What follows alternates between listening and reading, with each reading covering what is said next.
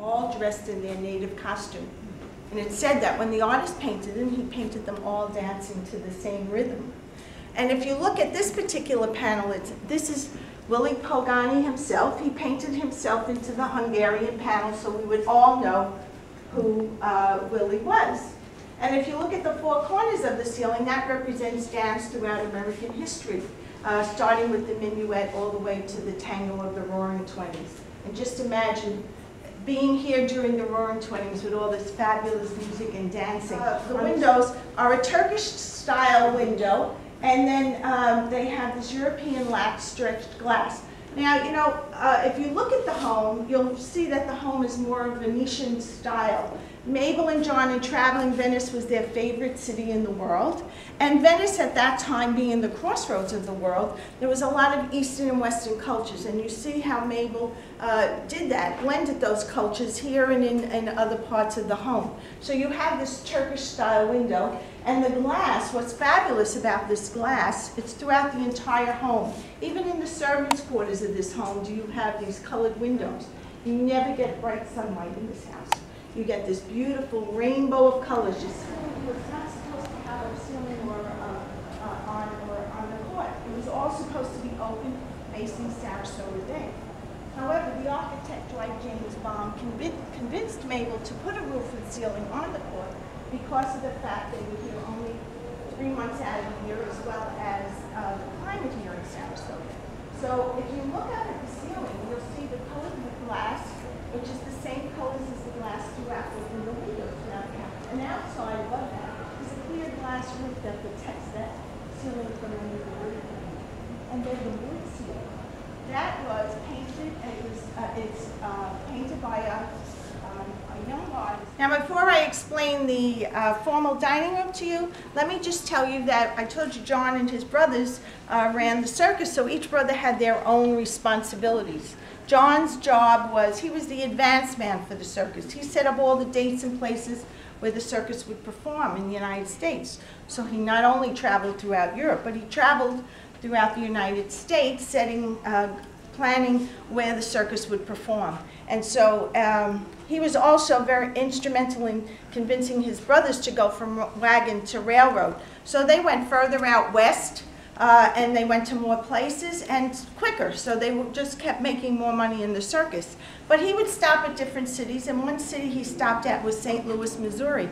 And there was a restaurant that he would go to often. It was called Cicardi's Winter Garden. But then that restaurant closed during Prohibition. So John purchased the interior of the bar, and that's how his tap room came to be. Okay? Now, if you look at the formal dining room, you'll also see where Eastern and Western cultures blend together. You have a Moroccan-style ceiling, and then you have English black carved walnut walls. It, they're totally two different cultures, but they blend so beautifully together. look up at the ceiling, and you'll look at it, and you think it's, it looks like wood, but it's not. It's actually cast plaster, and the wood is uh, on the walls. All of these things um, uh, blend so nicely together if you also look at the design in the ceiling, the design was, uh, they said, was um, that the inspiration of the artist, who was Robert Webb Jr., the same artist who painted the Great Room, uh, he got his inspiration from uh, these unset cameos that Mabel collected. Now look around the room and look at the table and chairs. The table was um, made by a well-known French furniture manufacturer,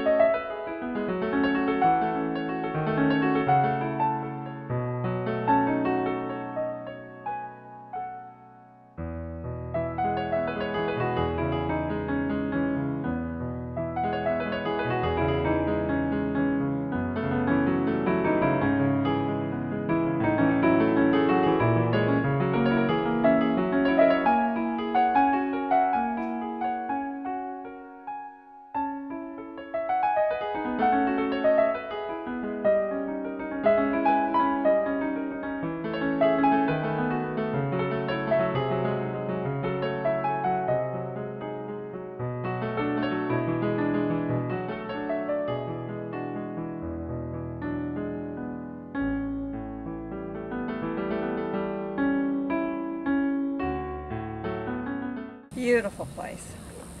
Worth every penny. And then some. Oh, if this place could talk, think of the parties they must have had here.